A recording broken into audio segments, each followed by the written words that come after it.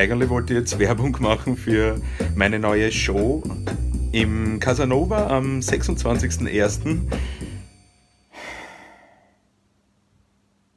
Später, Alexander.